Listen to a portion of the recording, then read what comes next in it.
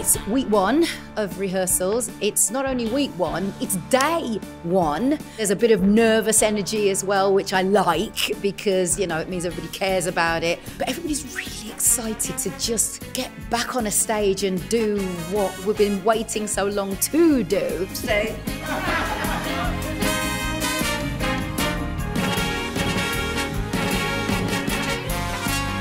Let's see what happens. We begin.